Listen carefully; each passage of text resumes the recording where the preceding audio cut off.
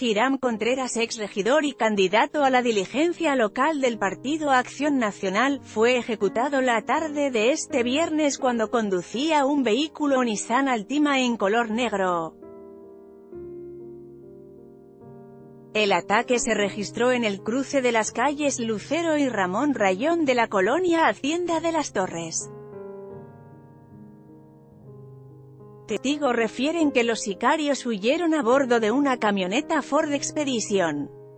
Contreras Herrera fue presidente del Comité Directivo Municipal por el PAN durante 2011 a 2014, fue diputado del Distrito Electoral Local 04 del periodo 2007 a 2010 y ha sido miembro del partido desde 1987, más información en breve.